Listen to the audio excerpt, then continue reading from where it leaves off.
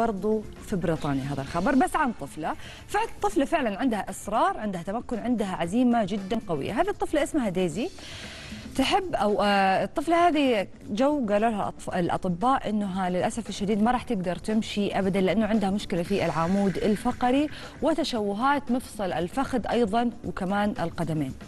الطفلة هذه كانت فعلا قوية وفعلا مصرة ما توقفت وما خلت هذا الكلام إنه يوقفها ويمنعها إنه هي ما تكمل حلمها بانها تكون عارضة أزياء. ديزي يا بنات أعلنت إنه راح تكون في آه، عرض أزياء خاص بالأطفال ولكن على طريقتها الخاصة قريبا.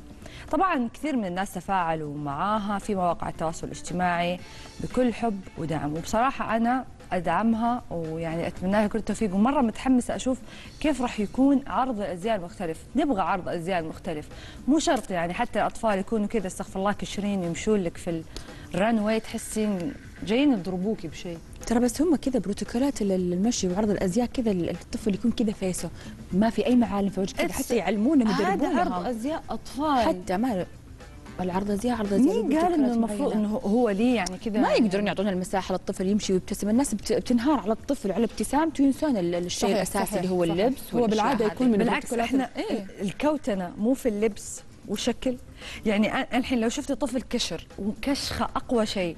والله يعني هذا هو لو شفت طفل عرض الأزياء لأنه المفروض إنك ما تخ... ما تؤثرين بابتسامة الطفل وتتجهين على الطفل وتنسين المصمم الأزياء اللي عارض قطعته. وفيكتوريا سيكرت هذه العروض اللي, اللي اللي بتصير يعني لا فيكتوريا سيكرت غير حالة ما تفرق كمان. ما هي نفس الشيء حاطط جوا ال- ال- الحشو حق اللبس ممكن يكون شيء عرفتي؟ آه، يلفت انتباه الناس.